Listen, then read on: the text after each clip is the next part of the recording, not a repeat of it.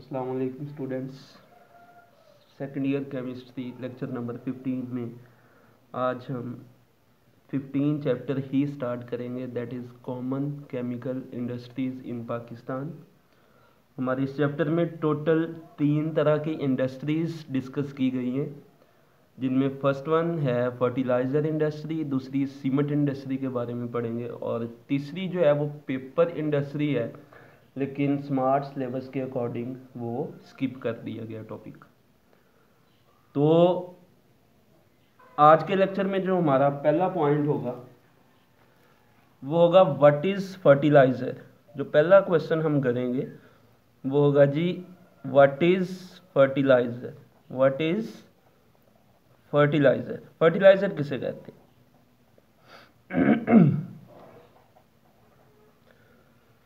अगर हम plant growth की बात करें तो प्लांट को अपनी प्रॉपर ग्रोथ के लिए कुछ स्पेसिफिक एलिमेंट्स कुछ स्पेसिफिक न्यूट्रिएंट्स की ज़रूरत होती है।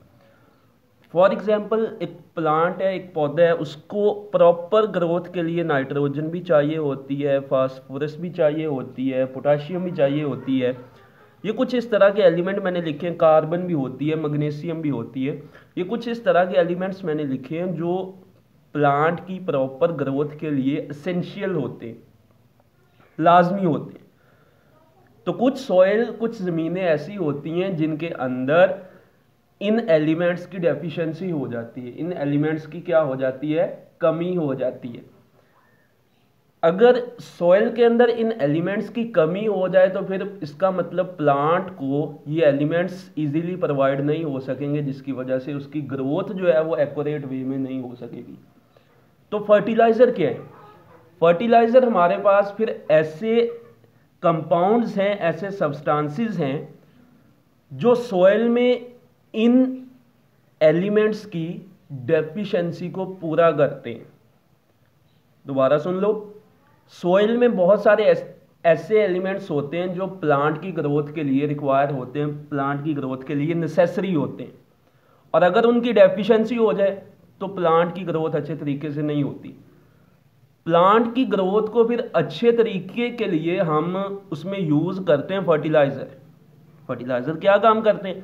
फर्टिलाइज़र फिर प्रोवाइड करते हैं वो एलिमेंट्स जो प्लांट की ग्रोथ के लिए असेंशियल होते हैं। तो फर्टिलाइज़र की डेफिनेशन क्या होगी? Substance which are substance which are added to the soil ऐसे सब्सटेंस जो हम ज़मीन में ऐड करते हैं, किस वजह से? To make up to make up the deficiency of to make up the deficiency of the elements.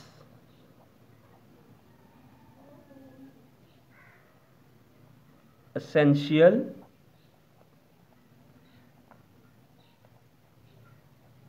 for plant growth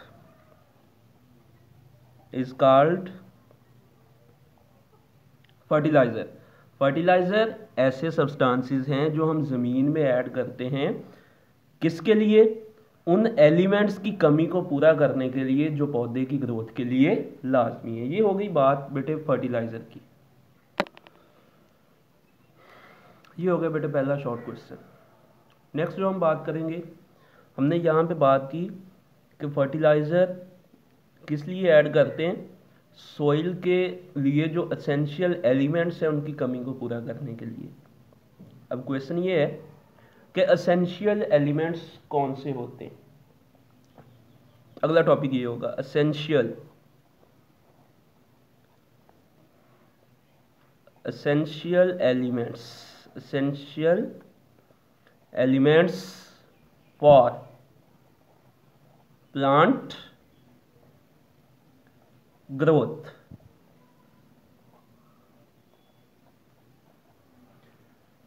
पौधे की ग्रोथ के लिए जो असेंशियल एलिमेंट्स हैं वो कौन कौन से? इन असेंशियल एलिमेंट्स को बेटे दो ग्रुप्स में डिवाइड किया गया है। जो पहला ग्रुप हम डील करेंगे वो होगा micro nutrients micro nutrients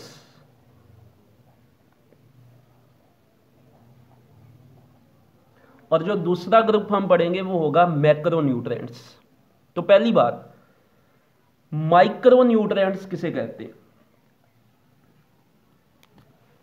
micro का मतलब है लिमिटेड कम. हम पढ़ क्या रहे हैं? Essential elements for plant growth पौधे की ग्रोथ के लिए लाजमी कंपोनेंट उसमें पहला इसकी, पहली इसकी टाइप माइक्रो न्यूट्रेंट्स माइक्रो का मतलब कम. इसका मतलब कि ऐसे न्यूट्रेंट्स ऐसे एलिमेंट्स जो पौधे की ग्रोथ के लिए असेंशियल है, लाजमी है, लेकिन थोड़ी अमाउंट में।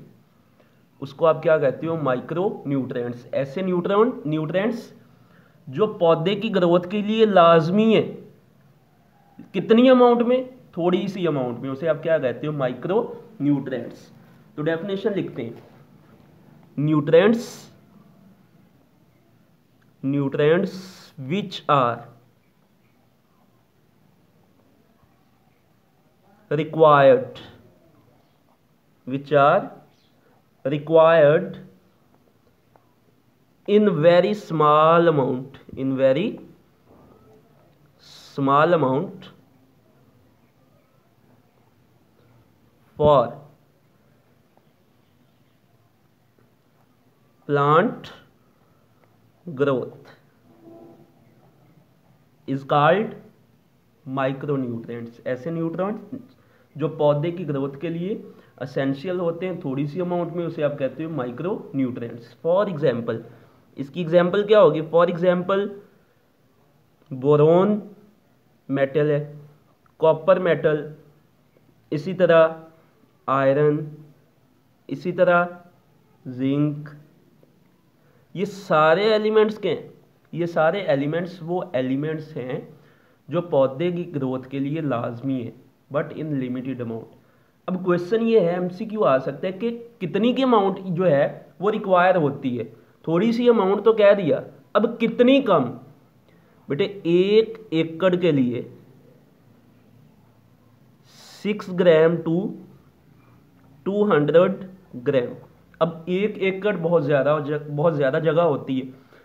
अब उसके लिए कितने चाहिए होते हैं ये? सिर्फ़ छः ग्राम से 200 ग्राम तक। इसका मतलब कि इतने ज़्यादा एरिए के लिए सिर्फ़ छः ग्राम से 200 ग्राम तक। इसका मतलब बहुत कम रिक्वायरमेंट होती है इसकी। तो this is called micro nutrients next इसकी जो दूसरी टाइप है, वो है मैक्रो न्यूट्रेंट्स मेरे मैक्रो का मतलब है ज़्यादा। मैक्रो का मतलब क्या है? ज़्यादा। इसका मतलब मैक्रो न्यूट्रेंट्स ऐसे न्यूट्रेंट्स हैं जो पौधे को अपनी प्रॉपर ग्रोथ के लिए बहुत ज़्यादा अमाउंट में चाहिए होते हैं। उसे आप क्या कहते हो? मैक्रो न्यूट्रेंट्स डेफिनेशन लिखते हैं। Nutrients which are required which are required in very large amount which are required in very large amount for proper growth of plant ऐसे न्यूट्रेंट्स ऐसे एलिमेंट्स जो पौधे की नॉर्मल ग्रोथ के लिए बहुत ज़्यादा अमाउंट में चाहिए होते हैं, उसे हम नेम देते हैं मैक्रो न्यूट्रेंट्स माइक्रो का मतलब छोटे मैक्रो का मतलब बड़े. इसका मतलब जो बड़े पैमाने पर एलिमेंट्स एसेंशियल हैं पौधे की ग्रोथ के लिए that is called macro nutrients for example nitrogen हो गई फास्फोरस हो गई पोटाशियम हो गई कार्बन हो गई. इसी तरह हाइड्रोजन इसी तरह ऑक्सीजन कैल्शियम वगैरह, ये सारे के सारे कौन से न्यूट्रिएंट्स हैं? ये सारे के सारे मैक्रो न्यूट्रिएंट्स हैं। अब ये कितनी अमाउंट में चाहिए एक एकड़ के लिए? जिस तरह हमने कहा था कि जो माइक्रो न्यूट्रिएंट्स हैं, वो छः से 200 ग्राम चाहिए। मैक्रो न्यूट्रिएंट्स कितने ग्राम चाहिए? ये बेटे एक एकड़ के लिए, एक एकड़ के लिए कितने चाहिए? पाँच किलोग्राम से लेके 200 किलोग्राम तक।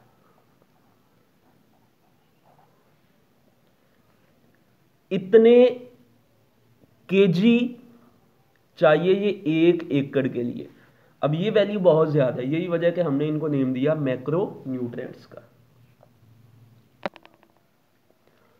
जी स्टूडेंट्स नेक्स्ट हमारा जो टॉपिक है वो है रिक्वायरमेंट फॉर फर्टिलाइज़र कि फर्टिलाइज़र के लिए कौन कौन सी रिक्वायरमेंट्स होती हैं और एक अच्छी फर्टिलाइज़र अच्छी खाद के लिए फर्टिलाइज़र किसे बोलते हैं? खाद के लिए एक अच्छी खाद की क्या क्या क्वालिटीज़ होती हैं? सबसे पहले रिक्वायरमेंट ऑफ़ फर्टिलाइज़र की बात करते हैं।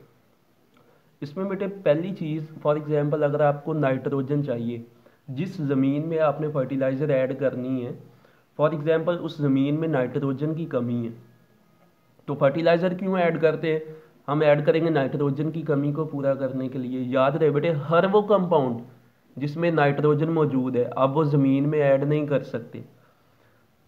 उस कंपाउंड की कुछ ख़ास प्रॉपर्टीज़ होनी चाहिए। उसकी कुछ ख़ास क्वालिटीज़ होनी चाहिए जो अभी हमने डील करनी है। फॉर एग्ज़ाम्पल वो वाटर सॉल्यूबल होना चाहिए। वो पानी में आसानी के साथ हल होना चाहिए ताकि प्लांट आसानी के साथ उसे खींच सके। इसी तरह वो ज़मीन को नुकसान नहीं देना, देता हो।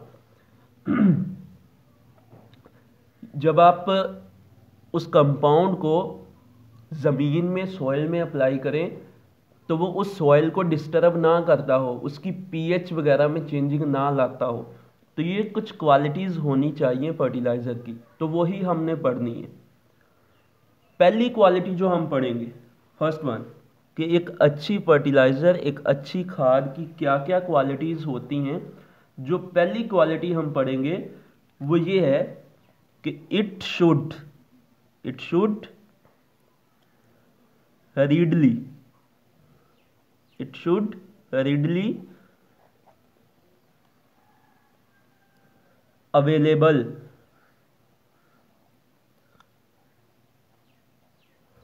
to plant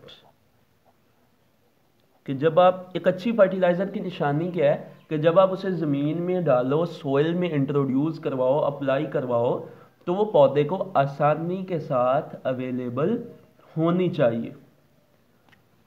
दूसरा पॉइंट दूसरी क्वालिटी ये लॉन्ग क्वेश्चन आ सकते हैं।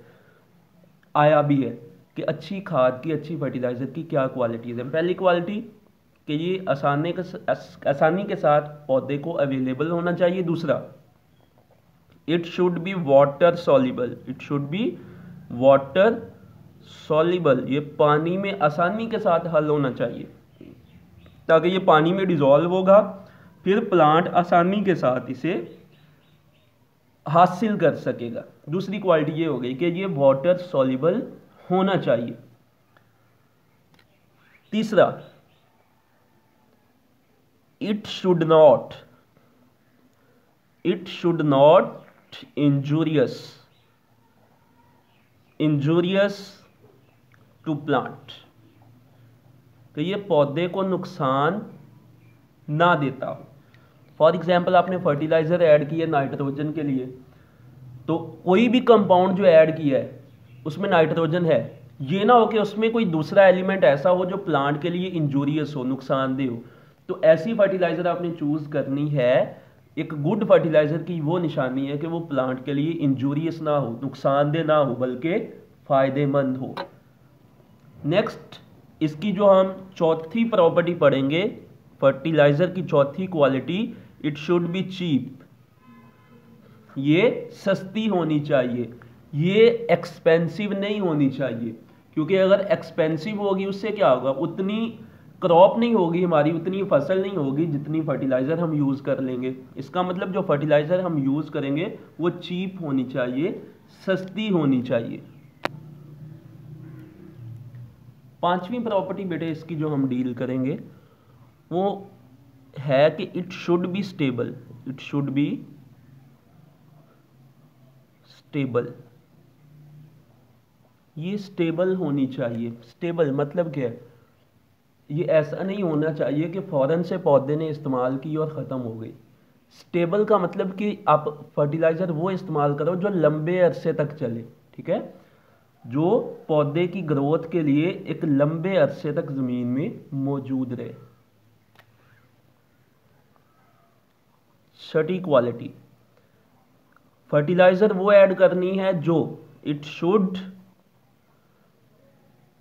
not change the pH of soil fertiliser वो यूज़ करनी है जो ज़मीन की पीएच ना चेंज कर दे। पीएच का मतलब पीएच से आप अंदाज़ा लगाते हो बेसिक का फॉर एग्ज़ाम्पल अगर पीएच इसने बहुत कम कर दी, इसका मतलब वो तो एसिडिक हो जाएगी ज़मीन। एसिडिक ज़मीन में फिर प्लांट्स ग्रो नहीं करते। बहुत ज़्यादा बेसिक हो गई, फिर भी प्लांट जो है वो ग्रो नहीं करता। इसका मतलब फर्टिलाइज़र वो ऐड करनी है जो ज़मीन की पीएच चेंज ना करे।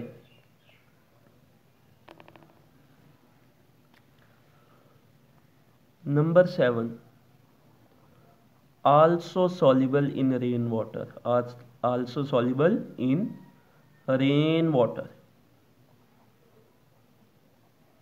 ये बारिश के पानी में भी हल होनी चाहिए। कि फॉर एग्ज़ाम्पल आप ज़मीन में फर्टिलाइज़र ऐड करो, अगर बारिश आती है तो उसके पानी में भी ये डिज़ोल्व होके पौधे को अवेलेबल हो सके। ये हो गया हमारे पास सातवां पॉइंट सातवीं क्वालिटी हो गई इसकी। आठवीं प्रॉपर्टी जो हम डील करेंगे, वो है, आठवीं प्रॉपर्टी जो हम डील करेंगे कि इसमें वो तमाम न्यूट्रिएंट्स होने चाहिए कि जो पौधे की ग्रोथ के लिए रिक्वायर हैं contain all nutrients require for require for plant growth last इसकी जो नौवीं प्रॉपर्टी हम डील करेंगे कि it should not it should not deliquescent ये डीलिक्विसेंट नहीं होनी चाहिए। डीलिक्विसेंट मीन कि फॉर एग्जांपल आपने फर्टिलाइज़र को कहीं पे स्टोर किया है तो ये पड़ी पड़ी मॉइस्चर को ऑब्जॉर्व करके लिक्विड फॉर्म में ना आए, ठीक है? तो पड़ी पड़ी ये लिक्विड में ना कन्वर्ट हो जाए, इसे आप बोलते हो डीलिक्विसेंट या ऐसा ना हो कि ये पड़ी पड़ी एक हार्ड मटेरियल एक स्टोन टाइप मटेरियल में कन्वर्ट हो जाए, ये दोनों प्रॉपर्टीज़ इसमें नहीं होनी चाहिए। ये डीलिक्विसेंट भी नहीं होनी चाहिए कि पड़ी पड़ी लिक्विड में ना कन्वर्ट हो जाए। ये इस तरह भी नहीं होनी चाहिए कि अगर आप इसे स्टोर करते हो तो ये हार्ड स्टोनी मैस पत्थर लाइक जो है, वो बन जाए, ऐसी भी नहीं होनी चाहिए। तो ये कुछ प्रॉपर्टीज़ हमने लिखी हैं, बहुत आसान सी प्रॉपर्टीज़ हैं। एक अच्छी फर्टिलाइज़र एक अच्छी खाद की कौन कौन सी प्रॉपर्टीज़ हैं, वो हमने यहाँ पे नोट कर दी है। तो ये था आज का लेक्चर हमने चैप्टर 15 का इंट्रोडक्शन किया। कि चैप्टर 15 में हमने क्या क्या पढ़ने हैं फर्टिलाइज़र क्या होती हैं, एक अच्छी फर्टिलाइज़र की क्या क्वालिटीज़ होती हैं, और essential element for plant growth अगले लेक्चर में इंशाल्लाह हम फर्टिलाइज़र को और थोड़ा सा डिटेल में पढ़ेंगे। ओके जी।